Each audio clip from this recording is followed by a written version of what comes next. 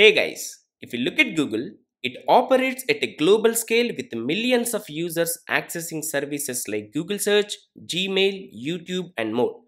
The real challenge for Google is not just building the new features, it's also ensuring these services are available 24 by 7 across the globe, scalable to handle any level of demand, and reliable so they work seamlessly without failures. Even with such massive traffic, Google rarely slows down or experiences downtime.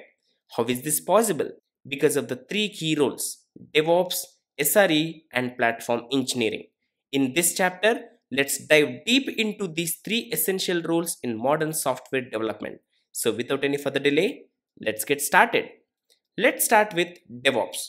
In the introduction to DevOps chapter of this series, we already discussed DevOps in detail.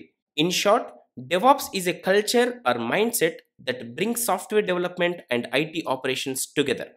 The main focus of the DevOps engineer is to reduce the friction between the development and operations by collaborating and also automating the repetitive tasks and increase the speed and efficiency of the software delivery with CI/CD. To understand this with an example, let's say Google is constantly evolving with new features like search suggestions, personalized results, and enhanced accuracy. The DevOps team ensures these features are developed and deployed smoothly. When developer creates a new feature, DevOps focuses on automating the testing, integration, and deployment of this new feature into the production environment without causing downtime. In summary, DevOps ensures that every code change is deployed safely and reaches users without interruption, making the delivery process faster and more efficient. It's all about speed. Next, we have SRE. SRE stands for Site Reliability Engineering. As the name suggests, this role focuses on making sure applications are reliable, scalable, and highly available. To understand SRE better, first let us look at few terms like SLI, SLO, error budget, and SLA. Let's consider one of the Google services, Google Cloud Platform, popularly known as GCP. Like every other service, this service also has metrics like uptime and latency to measure its quality. These metrics are called SLIs or service level indicators. Uptime measures the percentage of the time a service is available. The more nines, the higher the availability of the service. And the latency measures the time it takes to process request. The lower latency, the better it is. Like this, we will have different SLIs for a service to measure its quality by their values. Now, let's say when we buy GCP from Google, it promises 99.99% uptime over 30 days. This target or goal for a specific SLI over a set of period is called SLO or Service Level Objective. That means GCP should be available 99.99% in a month. In other words, only 4.32 minutes per month downtime is allowed. Same with latency. 95% of requests should be served within 200 milliseconds. Now, when the uptime SLO is 99.99% per month, the service is allowed a maximum of 4.32 minutes per month downtime. This is called error budget. It represents the allowed amount of failure calculated as 100% minus SLO. These error budgets help teams decide how frequently to roll out new features. And finally, SLA or service level agreement is a contractual agreement between a service provider like GCP and the customer like us. It defines the minimum performance levels in the form of SLOs and the consequences if these standards are not met. Generally, SLA specifies the compensation if the provider fails to meet the promised level. For example, let's say GCP commits to 99.9% uptime. If uptime falls below 99.9%, the customer receives a 10% credit on their monthly bill.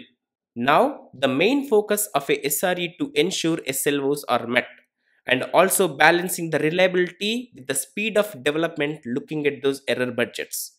Also to ensure systems recover quickly from failures by incident management. And the most important thing is the proactive monitoring using tools like Prometheus and Grafana to ensure uptime and system reliability. Please note that there is a slogan slow is the new down, meaning if our service is slow, people consider our service is down in this fast paced world. So, the performance of our service is such a crucial thing and SREs make sure our service is performing well. If DevOps is all about speed, SRE is all about reliability. Next, let us talk about platform engineering. If DevOps and SRE focuses on speed and reliability, platform engineering focuses on making life easier for developers. Platform engineering focuses on making developers' life easy. Platform engineers build internal tools and platforms that allow developers to deploy code without worrying about the underlying infrastructure. For example, before Kubernetes became widely adopted, Google developed an internal platform called Borg to manage containerized workloads. Borg was designed by platform engineers to handle scheduling, deployment, and scaling across thousands of missions. So, a platform engineer mainly focuses on creating a common platform for all the development team to reduce duplicate efforts. Also, he focuses on development experience to empower development teams to deliver the software faster. He also builds self-service platforms so developers can work without worrying about infrastructure.